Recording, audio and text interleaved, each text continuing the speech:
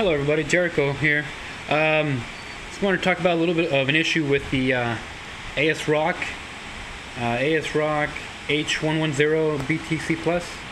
Uh, it's a good board, but it does have an issue. These uh, PCIe 1X are so close to each other that when you plug in your your risers, these little boards are going to touch each other. They're going to short each other out. It might not happen to all of them. It might only be one. You might be even pulling your hair out. Why does it keep taking one of my cards out? Uh, there's a good chance that's why. Um, at first I thought it was my Molex connector, but it was not. It was actually those guys. So all I did is use a piece of, uh, of uh, you know, anti-static bag, and I went ahead and sliced it up and used it as a divider for all these. Uh, another method would be to actually grind down the solder joints. So that's an option. Um, but you know, without having to do any extra work, just nothing serious anyway. Don't have any grinding tools, just put a little insulator between them. Now it will add some space to all of them.